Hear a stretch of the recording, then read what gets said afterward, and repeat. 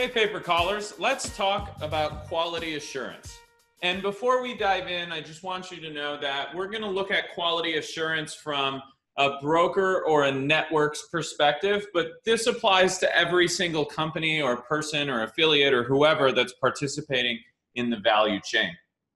So, quality assurance is extremely important to any call business because there are all sorts of things that can happen that can affect your profitability.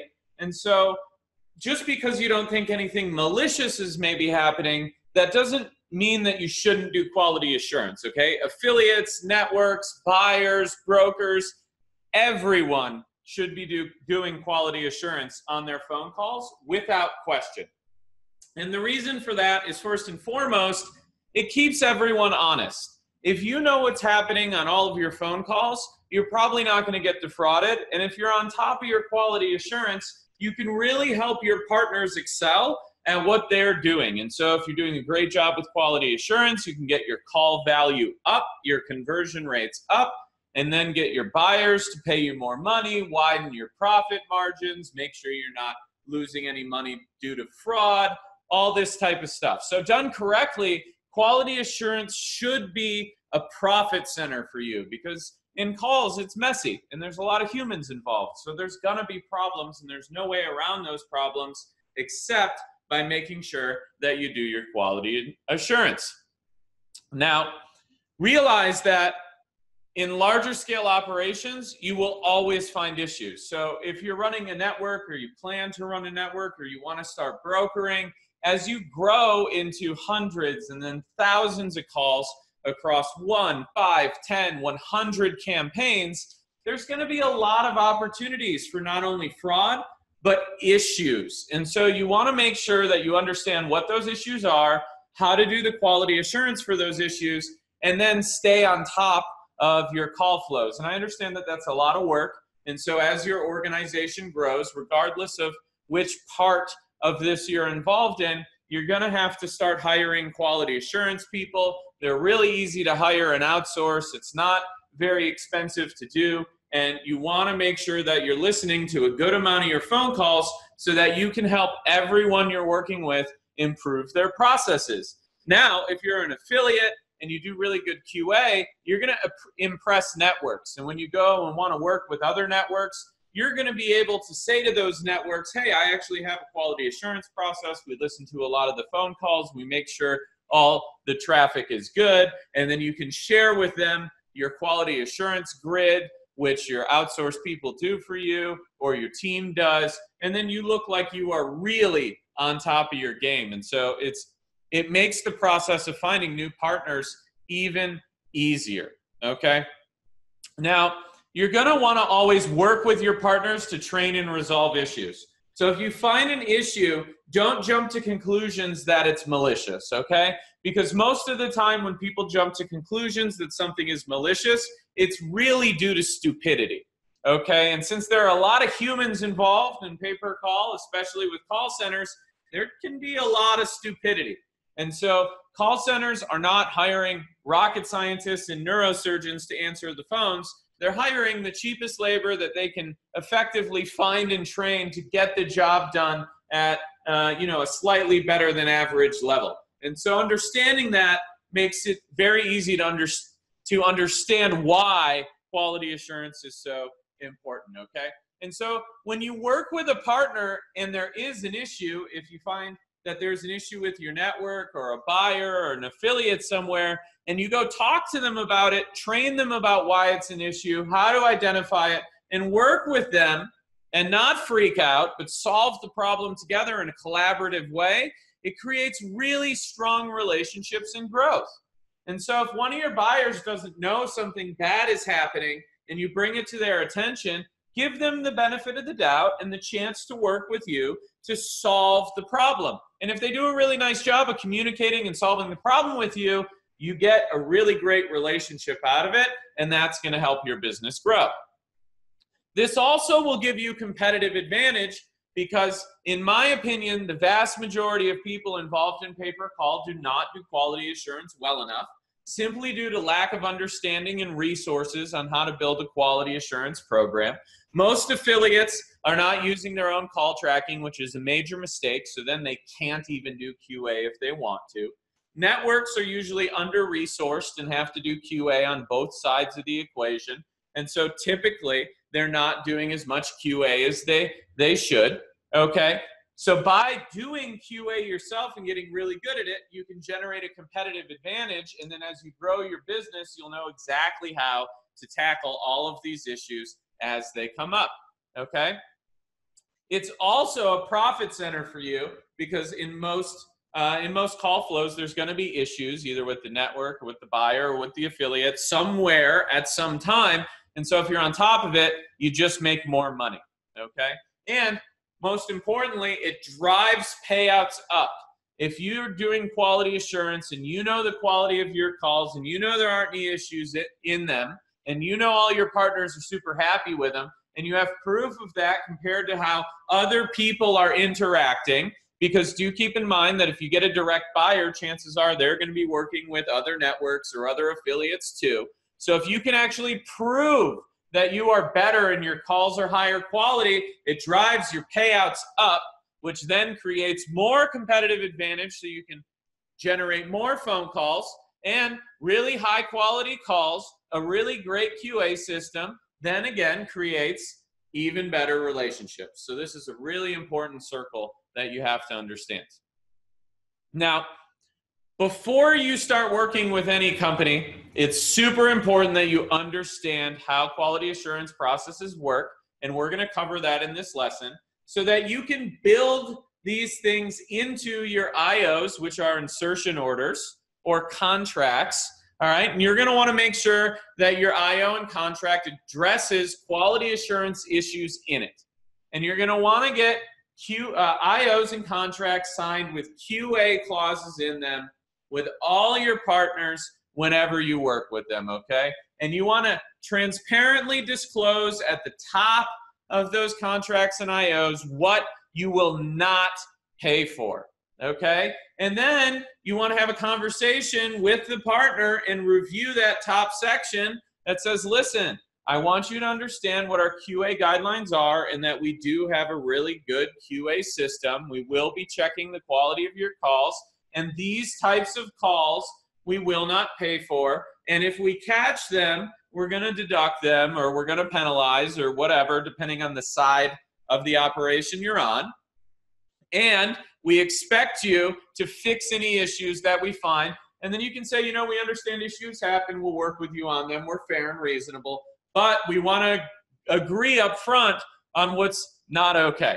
And you just want to have an open conversation with your partners about this because even if you're working with a buyer and they maybe have weak affiliates or weak networks that they're working with, uh, they may try and play games with that uh, the, their partners. But if you have a really great system in place and they know it, there's a lot less likelihood that you're going to have issues in the first place. Okay, and you're going to absolutely want to review these terms over voice with or chat maybe with every new affiliate you bring on. You're just going to want to tell them in advance that you have a QA system, this is what you look for, and that you will not pay for calls that violate this QA process. And you don't want to just leave that up to chance, like burying it in your terms and conditions so that they don't understand. Okay. No one reads terms and conditions as affiliates, just like you don't read the iTunes terms and conditions. No one does it. So you should expect no one does it. And you should review what is important to your QA process with every single new affiliate that you onboard, even if it's just sending them a PDF and then chatting with them. Make sure they understand, make sure they know, make sure there's a log of you sending it to them. Then, if you ever have an issue, you can always come back and be like, hey, look, we sent you our terms. Even better, if you have a one pager with QA issues in them, you have the affiliate sign it. Um, they're going to be in a better position to understand what your rules are. And if there's ever an issue, they know for sure what they're not going to get paid for. And what that does, what the good communication and transparency up front and those conversations do, is make sure that if you don't pay an affiliate because they did something bad, that, that they knew it and they don't run around smearing your name or complaining in public forums or groups that you didn't pay them or tell them what the quality assurance guidelines are or anything like that. And should someone actually go do that and complain publicly, all you have to do is then paste that one page agreement into the form and be like, hey, dude, you broke this guideline, you signed that you wouldn't do it. We're really sorry, but we don't pay people when they commit this type of fraud, right? And then everyone's like, oh, fraudulent affiliates happen. We know it. They had them sign an agreement that shows this. Great. And so it's a PR thing as well. And, you know, if affiliate does something and they don't realize it's bad and they didn't think it's bad, they get really upset when you don't pay them. And not paying an affiliate should be your absolute last resort. Okay? If you didn't communicate clearly, you should pay the affiliate. Because if you don't, you're going to run into issues publicly with reputation, and that's the last thing you want. Okay, so non payment is your last resort, and great communication and transparency in your contracts and agreements will solve these types of things. Okay, and then lastly, get your own call tracking. If you're an affiliate, use it because it gives you accountability for everyone involved, and it will be a profit center for you. Okay, you need it. All right, otherwise, you can't do quality assurance and then you have no control over your destiny and that's not a future I would want. Maybe it's one you want, but it puts you at a significant disadvantage if you don't have it. First, let's talk about duration billing and callback fraud. Okay, what is duration billing fraud and callback fraud? It's essentially the process of training your agents as a buyer to cherry pick and look for signs of a qualified customer and then tell them you're going to call them back. Okay? And so if a call center agent says, Oh, I can't hear you, sir, let me call you back real quick, and they dial the person back on their caller ID, that call is no longer going through the original call tracking platform and thus will not result in a conversion or a payout event. So the buyer essentially trains their agents to steal random phone calls from the people driving them calls because they have realized that the vast majority of people involved in pay per call do a really poor job with quality assurance. And so they're able to get away with this on a regular basis. I mean, we see it all the time. When I talk to our customers and their conversion rates have dropped and they're not sure what happened, I always tell them, listen, let's listen to some call recordings together. And then hop in, and guess what we find? We find callback fraud. Okay. And so this exact scenario happened to me recently. I was talking to a great client of ours. They're really um, amazing and they've been growing very quickly. And so what happened is because of their growth, they haven't been able to invest a lot in quality assurance because most people don't think quality assurance is a profit center. They think it's just overhead and a waste of their time. And what happens with that is they end up running into these issues and it costs them a lot of money. So this client was actually uh, willing to let us use this recording in the class. So let's listen to what callback fraud actually sounds like.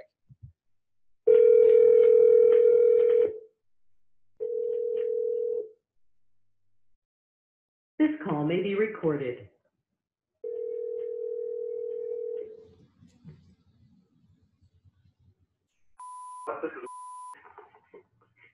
Hey, is there any dental that does hundred percent dental? Um, nope, nope. The, uh, if you, is there something you need done on the teeth right now? I need some braces. Do you? Hold on one sec. I'm gonna call you right back. I'll be able to hear you better. Hold on one sec. All right. Okay. So this is real simple. It's not hard to execute. And basically, what happened there is the caller called some type of uh, medical or dental insurance line and when the caller disclosed to the agent that he needed braces right away, that opens up a whole lot of high value conversion options for the call center. And what he did is hang up the phone and call the guy back. Now, this was a 40 second phone call. It only started counting when the agent picked up the phone, so maybe it was 35 seconds of talk time. And I know because the client told me that it didn't convert until a minute and 30 seconds. And so, in a period of 35 seconds, the call center agent was able to identify the caller was a high value target, hang up the phone, call the guy back, and get the phone call for free. So the call center wasn't on the hook for paying for that phone call, but yet reaped all the value out of that phone call. And what we found out is that this buyer was engaging in this activity all the time and had been for quite some time. But our client wasn't able to dedicate the resources to listening to these calls, so they ran into this issue. All right? And the thing is, if you if your buyers don't know that you have a QA process in place, they're going to try and figure out how to violate it. And what we see on average, and this doesn't apply to every circumstance, okay? But what we see on average is the smaller the call center, phone room, or buyer, the higher the likelihood that they will engage in duration based fraud. And the logic behind this is simple. A small call center maybe has 10, 15, 20, 30 agents, okay? And if you have that many agents and small groups of them that work on small shifts, it's really valuable for the call center to engage in this type of fraud, and it's super easy to train their agents to do it. Since they're small, they only rely on a couple partners to drive them calls, and that means that there's an abundance of people that they can burn over and over and over and over again, all right, as they move through the ecosystem. And so for them, it's a profitable way to do this. And so you need to understand the size of your buyer, and on the smaller ones, definitely do quality assurance. Now, on the other side of that coin, the bigger ones usually do not engage in this type of activity because they have significantly more money invested into their infrastructure, their employees, growing their business. And so for them, risking losing quality partners over a little bit of extra profit is not really uh, a good business plan for them because if they burn a, a bunch of quality partners, they can't grow any further and they're focused on growth and scale. So it's not in their best interest to just smash partners, fraud them, and then have to go out and find more of them, okay? And so, how do you catch this type of fraud? Well, guess what? You got to listen to call recordings, all right? And it's something that most people don't typically want to invest their time into. I find it fascinating. I highly recommend you do it because you can learn more about this industry from listening to call recordings than you really can any other way. And once you know more than everyone else, well, then you can build things that are higher value have better return on investment, all that good stuff. So the process for catching callback fraud is simply uh, sorting your calls by duration and reporting. And so you go into Ringba and you sort your calls by the duration of the call after you select calls that did not convert. And so we're looking at all the calls that did not convert, and then we sort them by duration, highest to lowest. And so if it's a minute 30 where the call converts, we're going to be looking at calls that are a minute and 29 seconds or less. And then you just listen to all the calls below the payout threshold. Typically, you'll want to sort them by buyer so that you can see if there's a specific buyer that's doing this. And once you go through a bunch of those calls, you just listen to see if they call the uh, the customer back. And so start longest to shortest, work your way down the list. You can probably ignore five second calls, eight second calls, whatever. Um, but the longer ones are going to have a higher probability of fraud because they're going to talk to the customer and figure out within 35 seconds, as the example had, or you know maybe a minute if they have a minute and a half or two, whether or not that call is going to be a conversion, and then they call the customer back and fraud you on it. Okay, and so you want to find a pattern, and if you're going through a network they may have multiple buyers, and so you don't know which buyer the issue is. So you're going to need to collaborate with the network, give them the call recording, give them the caller ID, and then demand that they quality assure their buyer. And then anytime you find an issue like this, you need to give the evidence to the buyer or the network and demand payment for it. And I would also bill them in my IO penalties if you catch it. Especially if you're working with the network and they're not on top of it. The first time you catch this, you tell them you want penalties in place. And the purpose of the penalties is to pay for the quality assurance the network should be doing on your behalf. And maybe they are, but when they catch this, they just don't pay you, which is a practice that I have not personally seen in pay per call, but I've seen it at affiliate networks.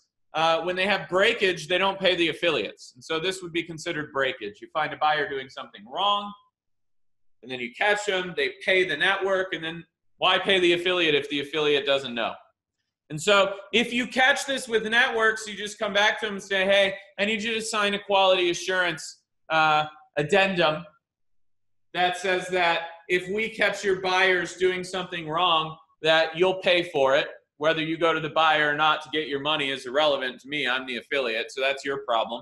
And then if I catch you, I want a 50% penalty on every CPA, every call that was callback fraud or whatever the fraud is, to cover my quality assurance cost because you're not doing your job.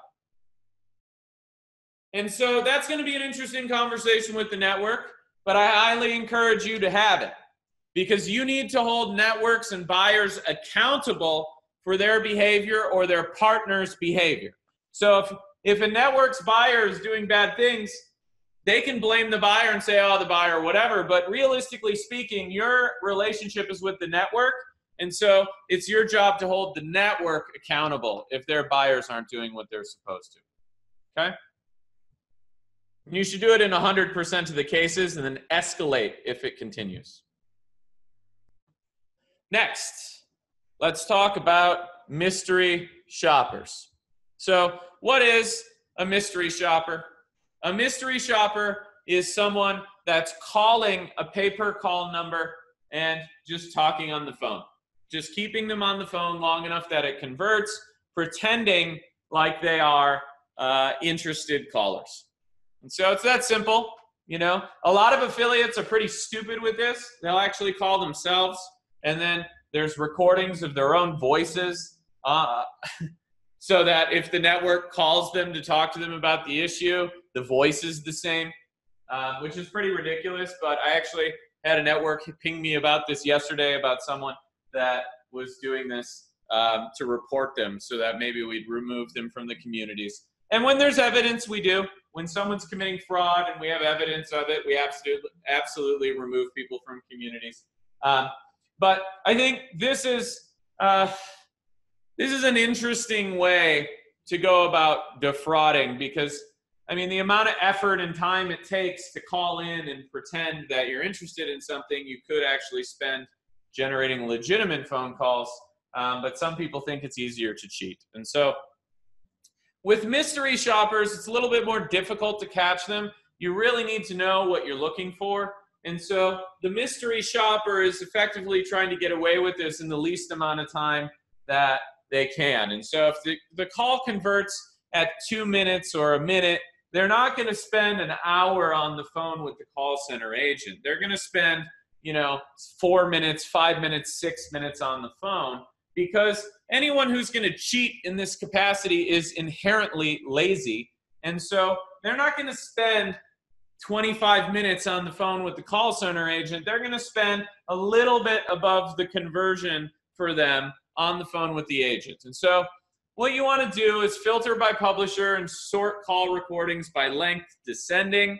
Really long call recordings you can just play and then jump to the end and they'll probably be in some kind of sales cycle, and so you know it's legit. Um, you'll want to skip to any of the long calls to find out if the sale actually happened. But realistically speaking, what you want to do is look at the range of calls between the conversion uh, duration, which again could be a minute, minute 30, minute 20, uh, two minutes, whenever the affiliate gets paid, and then you know reasonable amount of time after that. So three minutes after, five minutes, 10 minutes after. It all depends on the average handle time of the campaign. All right. And then you want to review a bunch of these calls and see if the same voice shows up multiple times uh, from different caller IDs. And if it does and it seems fishy, check the phone number. If it's a VoIP phone number or a Skype phone number or a Google Voice number, it's most likely going to be fraud. Um, but effectively, what you want to know is does the conversion rate match with what the call center's general average is? And so you're going to need to figure out on a publisher level what the conversion rate of the calls are for the call center and then compare it to their average across all affiliates. And so this is a complicated uh, process to figure out. The good news is the vast majority of affiliates that engage in this type of behavior um, are just, it's just all mystery shoppers. And so the call center uh, doesn't have any real sales. And so it's very easy to determine if a publisher is sending you a bunch of qualified calls and none of them result in a sale. Well, you have a pretty good idea that there's a problem there. And so what you want to do is go to the call center or your buyer, find out what the average back end conversion rate is. You know, maybe it's 20% of all calls result in a sale or 10% or even 30, 40, whatever. And then you listen to your publisher's calls Uh, and see if any of them buy. So if you listen to 10 calls and not a single one of them buys, you know, there may be an issue. You listen to 20 and their conversion rate is 30%. Well, they should have six sales in there. And if they have zero, you already know that it's a mystery shopper campaign. Now, what you can also take a look at is the average handle time of the calls by publisher.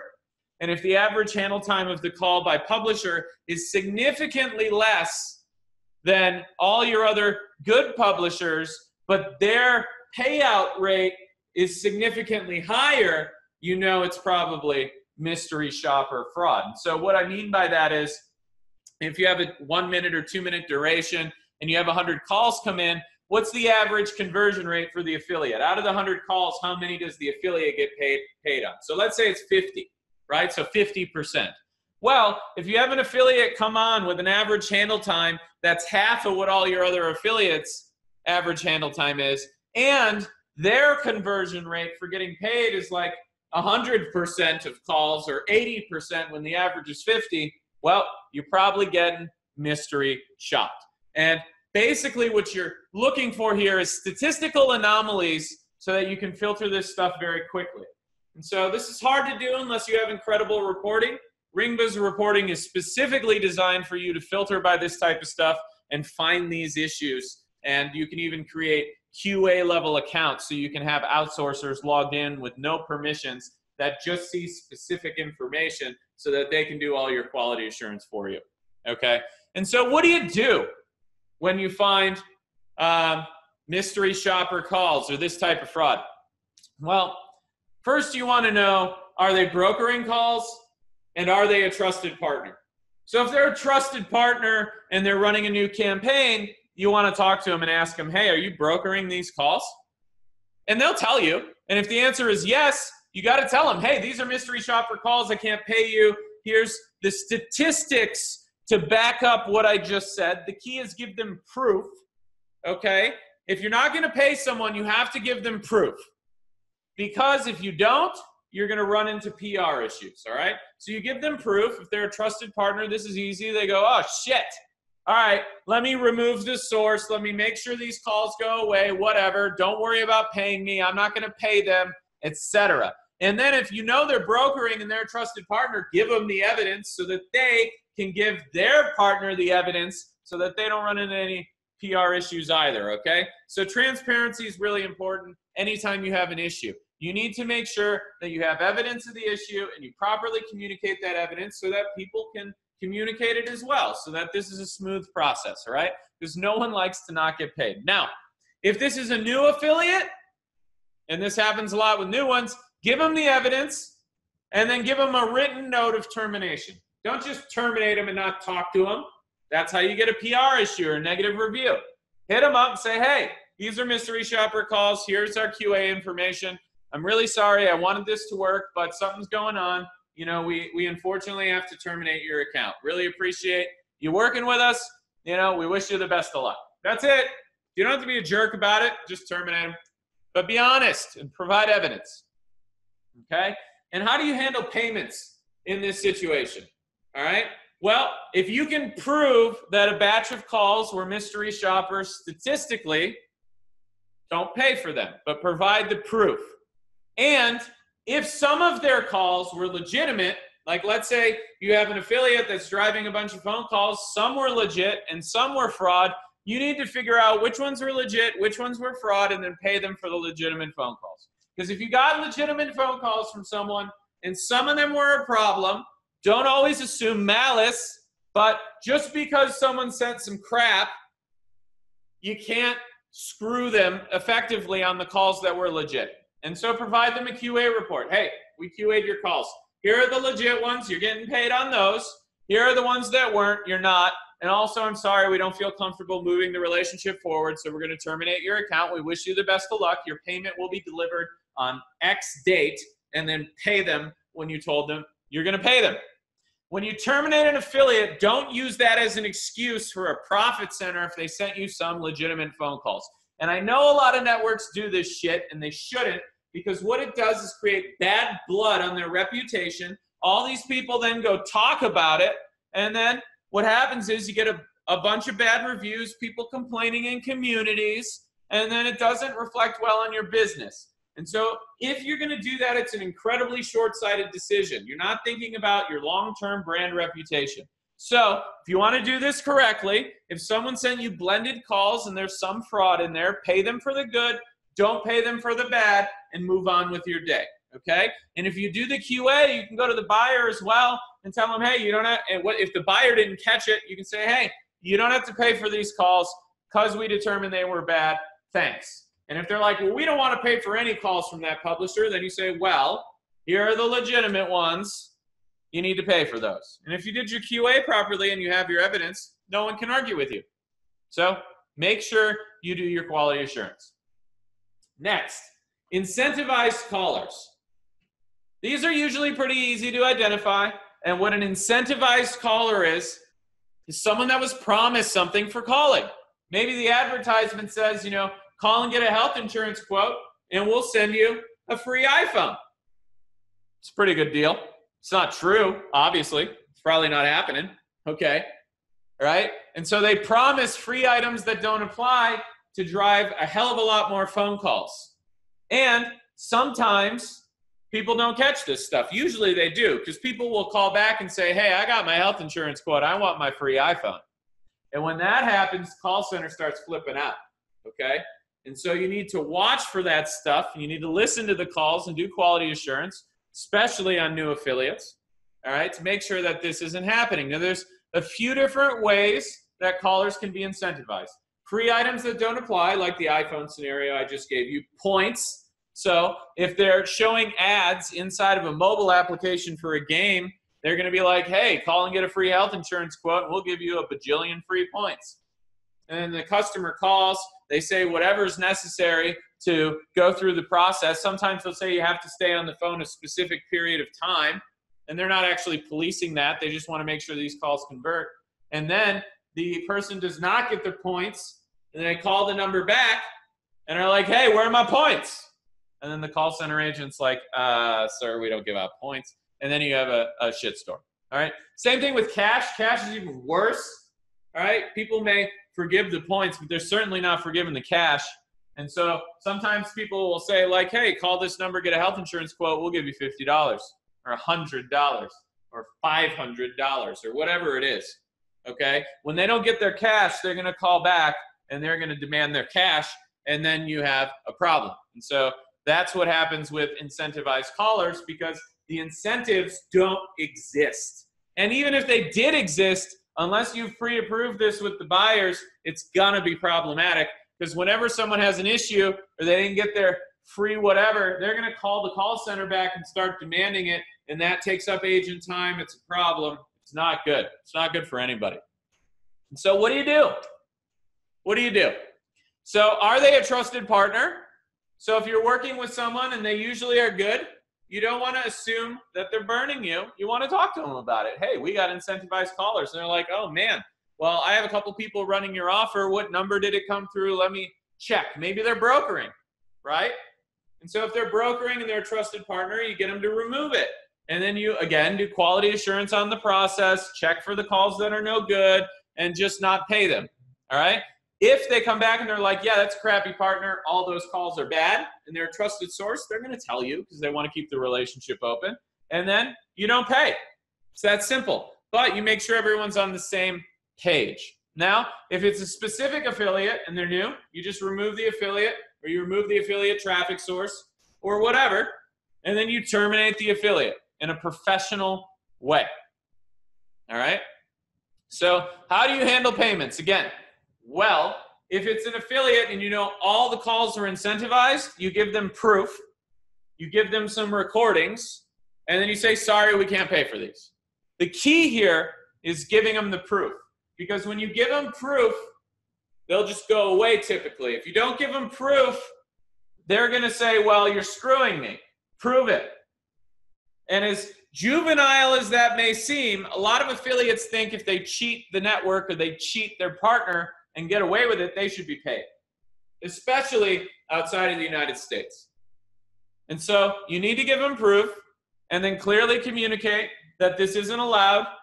And this is why you have it in your IO, you have it in your terms, you make them sign it, you make them review it with your team member so there are no questions. So when this happens, you're like, hey, you signed the form that says no incentivized calls. Here are the incentivized calls. Here's a couple call recordings. I'm sorry, we can't pay you for this. You knew the rules. And they're like, all right, whatever. All right. Now, if some of the calls were legit, if they had multiple traffic sources and some of the calls were legit, again, pay for the legitimate phone calls. Do not be short sighted and seize people's payments because part of their traffic was an issue. It's not about the profit. I can see how, you know, making a couple extra hundred bucks or this guy screwed me, so I'm going to screw him back or I'm going to keep their money because I can is a good idea or may feel good. But we're not talking about feel good here. We're not talking about punishing the affiliate. What we're talking about is making sure that your brand is honorable and building a brand for the long term so you can build a sustainable business. And so do not burn people whenever possible, all right? If people screw you, don't pay them. But if they screw you, but some of their stuff was okay, as much as it is you eating shit, just pay them what you owe them. They'll go away and you won't have any negative reviews or any issues. All right? This is how problems start. If you don't pay people, it's the worst case scenario. It should always be your absolute last resort. Next, automated IVR selection. So, a lot of campaigns require that callers enter in their zip code or enter in some selections on an IVR. And what some affiliates do is use technology to automatically dial IVR prompts. Now, this can be used in a legitimate way. Let me describe the legitimate way for you.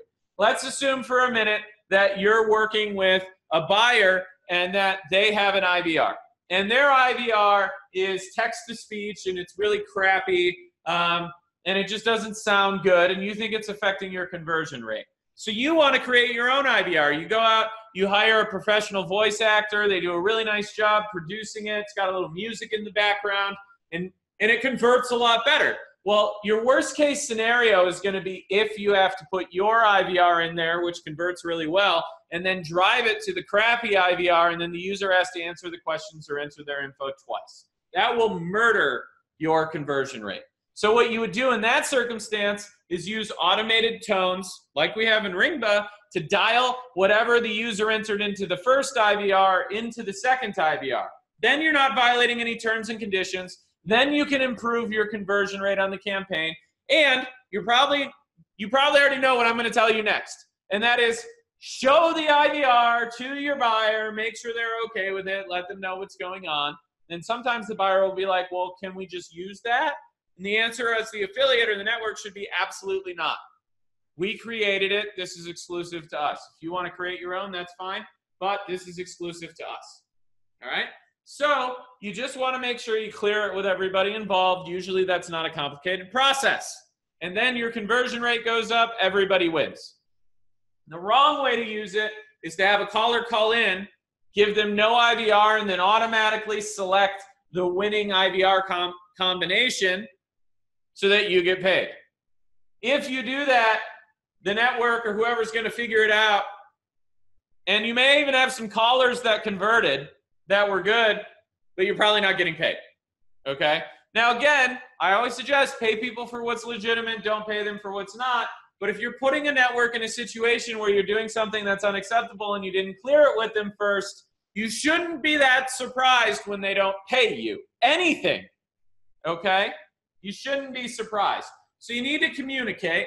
This can be a legitimate one or a non legitimate one, but you need to communicate properly. So, how do you catch this if you're looking for it? Well, you need to review the percentage of IVR selections on a publisher basis. So, if you have a publisher and 40% of the time they hit number one, which generates a conversion, or number two, which then results in a conversion, and that's your average, all of your publishers should be somewhere within statistical reasonability around that percentage. So if it's 40% and some pubs are at 30 or less than average, that's probably not an issue. If they're above average, if they're at 50 or 60%, probably not an issue. You can listen to the calls, it's probably all good. Maybe they do a better job of pre qualifying the customer before they send them to the IVR. All right? Now, if it's 100%, then you know you're getting banged. Or if it's really close to 100%, it's probably not okay. They're probably using a process like this. So, what you want to do is then QA anyone that's higher than average on the selections and see whether their calls are good quality or bad quality. Now, if one of your publishers is at 20% and one is at 70%, and both are legitimate, by learning what happened on those phone calls, you can usually figure out why the better affiliate is generating more qualified calls, and then go coach the other affiliate on how to improve the quality of their calls. So this right here, in general, should be done on QA on an, an affiliate or publisher basis, so that you can go coach the affiliates on how to improve their quality in general I think IVR selection percentages are a great way to understand who has higher quality traffic or who's doing a better job pre qualifying the customer. Maybe if you shared this information with your affiliates, and I don't believe that any network does this, I haven't seen a single one do. If one's listening and they do this, I apologize, but I have yet to see a network that looks at IVR selection percentages to quote uh, to coach affiliates on how to improve their campaigns but you absolutely absolutely should do that because a lot of the times affiliates and publishers just don't necessarily know the quality of their own calls and so they don't know when to improve when not to improve. Maybe you tell them and they're like oh well i can change the text on my ads and my landing pages. Let's run some tests. And then you run some tests and your affiliate gets a better conversion rate and they're like holy cow I'm making a whole lot more money, you're making a whole lot more money, and all it took was looking at some statistics, right? And so, regardless of QA, this is something you should take a look at no matter what, because the conversion rate at the IVR means a lot to your bottom line. And you should also split test IVRs, frankly. We'll cover that in another lesson. Next, we have dead airtime and confusing messages. So, what does that mean? It means that an affiliate is driving calls to a pay per call offer with a pre recorded message. Maybe it's really weird sounds or something interesting or confusing. So the call center agent just listens, and the call center agent is unaware that after a minute they pay for that phone call. Maybe the affiliate does this on a few calls and not all of them once they figure out that the buyer or the network isn't doing quality assurance, right? Maybe they just send dead air time. And then when the agent hangs up, they don't hang up the phone call. And so if they do that and their technology can do that, then the tracking platforms, some of them out there, aren't able to figure this out that the call is disconnected and then will trigger a conversion and a payout. And if a network or buyers aren't doing their quality assurance, well, they get banked. Okay? And so how do you resolve this? This one's really easy. Listen to the recordings. Spot check your recordings for all new publishers, all publishers, frankly, and listen regularly to short duration calls that convert. And so the sweet spot is within a minute of calls that have converted. So if it converts at a minute, all calls between one minute, one second, and two minutes or three minutes in duration, you need to check out those phone calls because those are high risk calls essentially. They resulted in a payout, but there was absolutely no way that call center agent was going to sell on that call. And that's what you're looking for. Non compliant warm transfer scripting. Okay, this one's fun. This is when affiliates use non compliant warm transfer scripts before they transfer the phone call into the end buyer. And so if a network network is accepting transfers, it's up to the affiliate to qualify that call with the call center agent, outsourced agent, partner call center, whatever, to see if it's legitimate before they transfer it over. And so affiliates using non-compliant warm transfer scripts are just trying to talk to the consumer really quickly about whatever and then transfer them as soon as possible so that they can get credit for it without investing in following the actual compliant process. And so, how do you know that? How do you know this is happening? The callers don't know what they called for. They have no idea why. They're like, why did you just transfer me? This makes no sense. Uh, they think that they're calling about something else, right? The callers don't actually qualify for the product or service. So maybe the warm transfer center, uh, the qualifying call center, isn't asking all of the questions, or they're transferring people regardless of what they answer anyways. So they're transferring non compliant callers.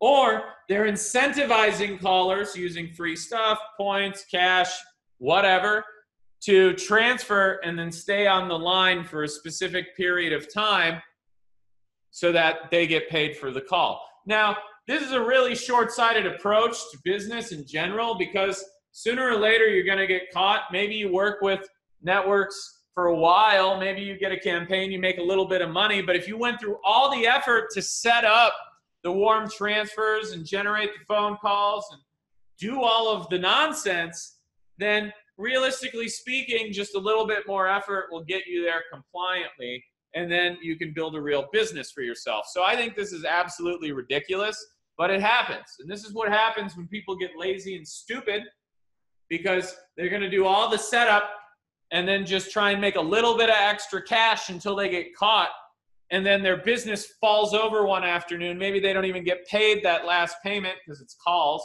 The feedback loop's pretty short. Um, it's just not not smart to do this stuff. It's easy enough to make money in this space without defrauding people and yet it still happens okay? So how do you catch this? You get a test number from your affiliate. You call it different using different caller IDs every single time so they can't catch you. And you listen to the scripting, you go through the process. Okay. You also review recordings after the transfer happens. You're looking for confused callers that don't know why they called or what happened. You're looking for non qualified callers where they're like, oh no, I'm not 65 years old. Well, you obviously don't qualify. They transferred you anyways, then, right?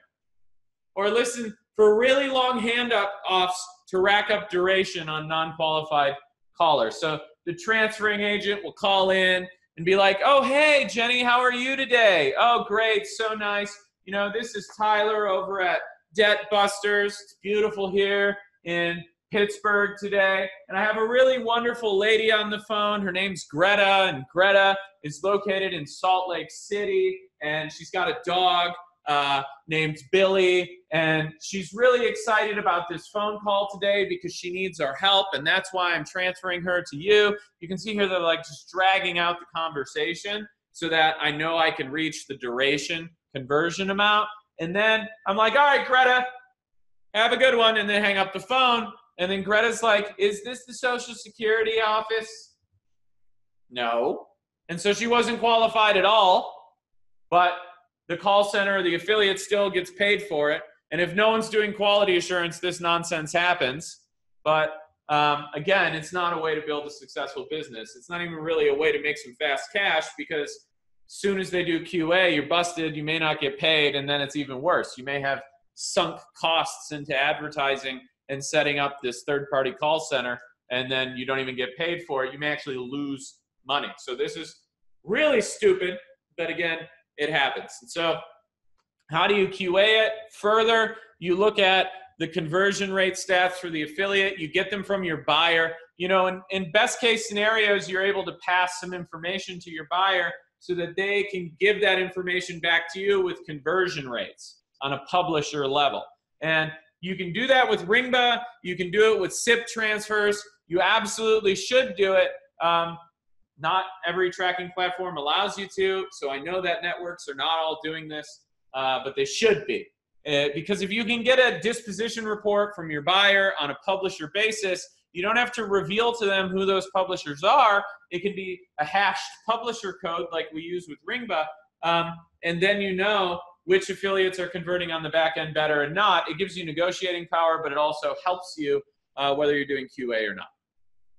Okay, next I want to talk about uh, something that is not fraud. And so this is not fraud, but it is a major, major problem in pay per call. So what we're looking for here is poor sales agent performance. And when you're working with a buyer that has, you know, 30 agents or 15 agents, they're probably not going to be the best sales call center in the world. Because if they were the best sales call center in the world and had an amazing training program, they would grow their business beyond 15 sales agents. They would have thousands. So if you can do sales with 15 and the call volume's available and you're better than everyone else so you can pay more for the phone call, well, you can scale that operation rather quickly to hundreds or thousands of salespeople in a call center. And so your smaller call centers are going to be uh, more of a problem here. In my experience, not 100% of the time, some of them are great, okay? But just statistically, they're at a higher likelihood that they're going to be problematic. Now, if you're talking about a small group of independent buyers or your own self serve buyers or an independent insurance agent and they're bad salespeople or they're not well trained, well, they're just going to disappear. They're just going to stop buying calls from you, and that's going to be the end of it. So they're going to weed themselves out. But if you're working with a call center this becomes a problem for you because if the call center agents are weak and they're not converting the calls, the likelihood you're going to be able to negotiate for more payout from your buyer is low. And so you want your buyers to be really good and have really good training programs because if you send them quality calls that convert really well, they can afford to pay you more money if they're really good at what they do. Okay? And if they're really bad at what they do, callers may hang up before the two minutes. So you may not get paid at all. That's why it's really important that you have quality salespeople on the phone because they'll be better at getting sales out of people that others aren't. And then your duration average goes up, ergo, your payout average goes up. Um, it's just better for everyone. So when you're listening to call recordings, uh, this is really easy process, okay? People like happy people. They do not want to talk to people who are not happy or not interested in talking to them. It's that simple, right? Like, if I wasn't excited about leading this lecture right now, you probably wouldn't want to listen to it. And so I'm trying to be excited about what we're talking about. In fact, I am because I really like this stuff so that you'll listen to me across this entire program. Well, a call center is exactly the same. If you have a piss poor attitude, you're going to have a piss poor conversion rate and it's not going to go well. And so you're listening to see if the agents are generally positive. And if they're not, or a specific agent is generally not positive, track it, save the call recordings, and send them to the buyer and tell them that this is unacceptable. It's hurting your business and my business. And if your buyer's good, you know, if they got 100 people, they're going to listen to the recording and they're going to retrain that person or terminate them. Okay, so you're helping your partner out. Second, you need to listen to see if they're creating a relationship and a rapport with the actual caller. And that means not just like, so you want health insurance? Fine, give me your age. You know, it's like, how are you? How are things going? Where are you located? Oh, that's great. I love it there. Relating with the person, finding out about them, building a relationship on the phone. The most successful call center salespeople are really good at creating a relationship quickly on the phone because people are more likely to buy from people they like. And if you create a relationship with someone and show general interest in their lives, typically they like you. And then they trust you and then they'll buy from you. Okay? And so you want to listen to see if agents are building rapport. Now, if they're not, if they're not creating a relationship, save the call recording, send them over to the buyer, and talk about it. Hey, I want to give you some feedback. We don't think your agents are doing a great job of building a relationship. Here are some call recording examples I want to share with you. And I think if we trained them a little better on this, maybe did some role playing or looked at your training process at the call center there, that we could improve your conversion rate, which means you'll make more money. Now, if they're unwilling to entertain that, they're not a good partner. I would say that nine times out of 10, if they're running a legit business and they're worried about growth, they're not only going to entertain that, they're going to listen and collaborate with you. And then when the conversion rate goes up, get that information from them and then demand more money. Okay? Next, are they well trained in general? Do they understand what they're selling? Do they understand the process? Do they seem confident about what they're doing on the phone? If they're not, maybe they're new. It happens okay? But if in general, these people don't seem confident on the phone after you listen to 10, 20 recordings, well, then you need to raise that with the call center. Next, are they following the script? Is the script good?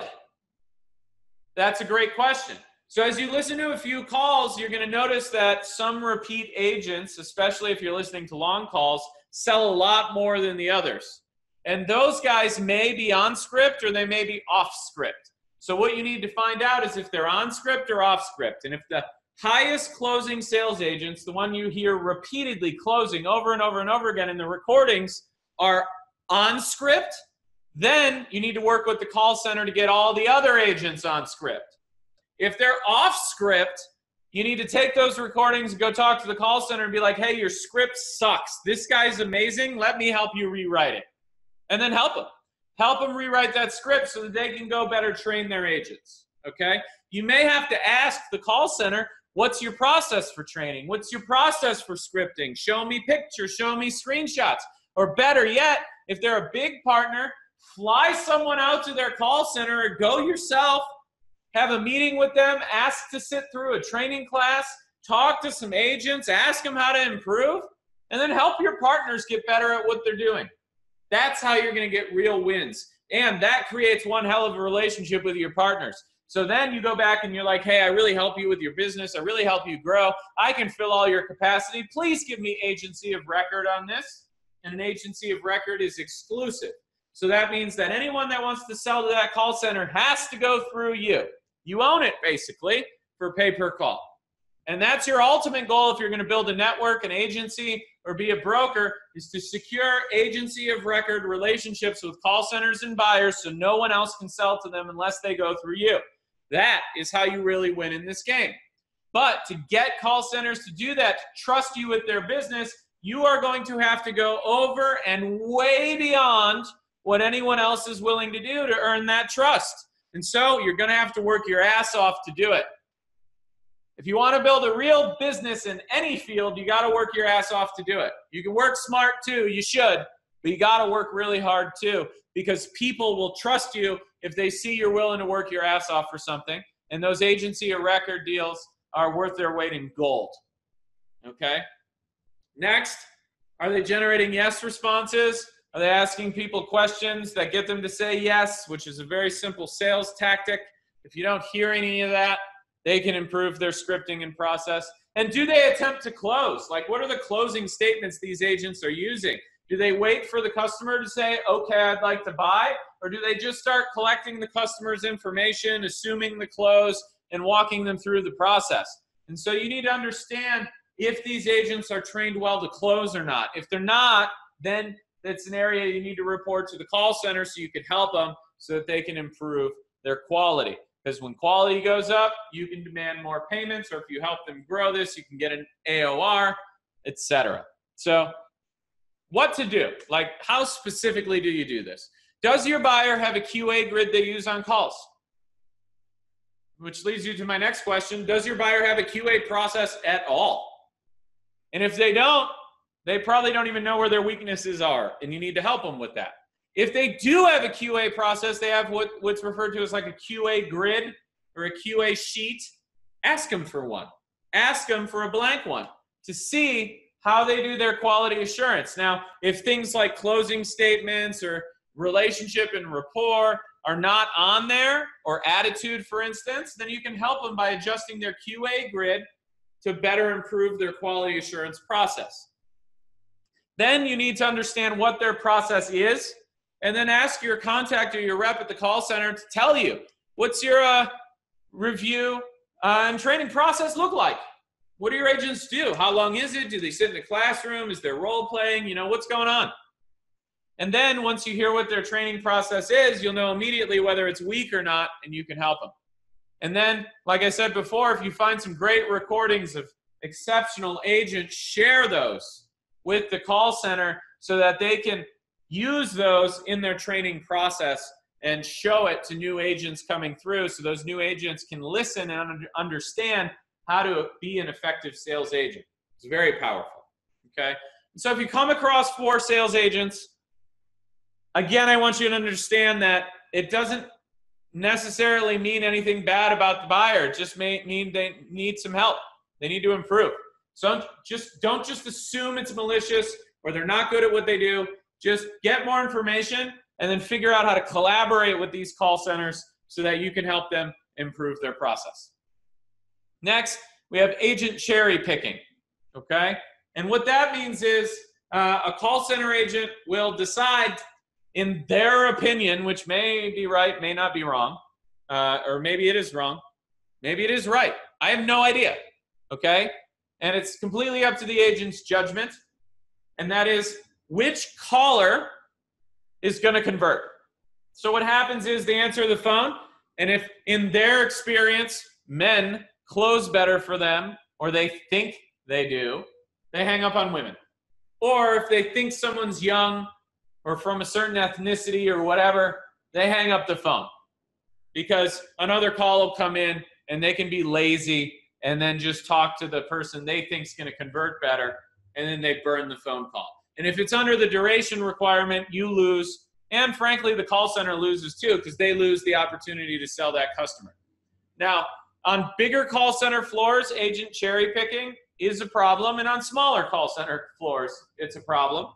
But it may not be malicious on either. The call center may not know it's going on.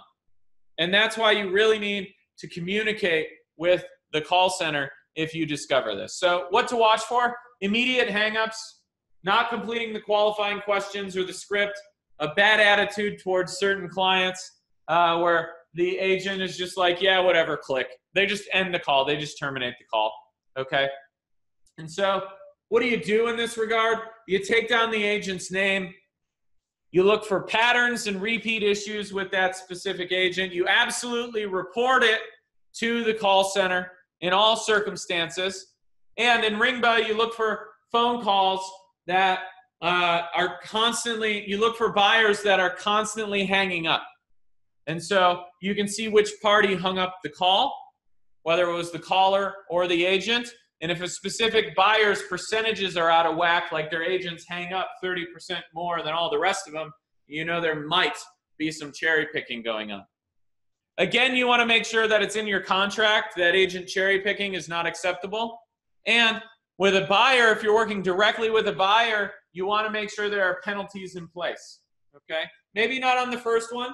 If you report an agent for cherry picking, maybe on the first report, they pay for the calls, but there's no penalty. Then the second time, they pay for the calls, and there's a $500 penalty or something. Okay? But they should pay full price for the cherry picked calls without exception. You need to make sure that that's in your contract and your buyer understands this and you review that contract information and the IO and all the requirements with your account rep, with your partner over there. Don't just send it to them and be like, yeah, they agree, and then not review it. Make sure they understand what's not acceptable so that you can come back to them in the future and be like, Bill, we discussed this. This is a problem. It's the third time. We're going to impose the contractual penalty, okay? And then Nothing gets people motivated like losing money or potentially losing access to phone calls. So that's why you need multiple buyers on every single campaign, whether it's a network or not, so that if you run into these issues, you can reroute the phone calls and play the takeaway so that they'll get their act together. So again, if you see this, you report it to the buyer, you request training, or you request removal of that agent from your campaign. So you have the ability if you put it into your contract, uh, or even not, you can always demand it that that agent gets removed from your campaign. Now, if they say, well, you're sending most of the calls to us, and uh, well, and we only run this one campaign, well, tough shit. We don't want that agent taking the calls anymore. They violated the rules. If you got to terminate them, terminate them. We don't care. But we're going to listen to all the calls, and if we catch them on there again, we're going to have issues. Okay? That's why you put these things in your contract. Like you have the right to remove an agent from the campaign. And if you impose that right and the agent is not removed from the campaign, you are able to bill the call center $100 per phone call that the agent that was supposed to be removed takes after you impose that right. Okay? So you can get real creative with your contracts. You need to think about it. But whatever you put in there, you need to make sure it's tra- transparent and discussed with the call center so that you can hold them accountable. Because really, what this whole lesson is about is just keeping people honest and then holding them accountable.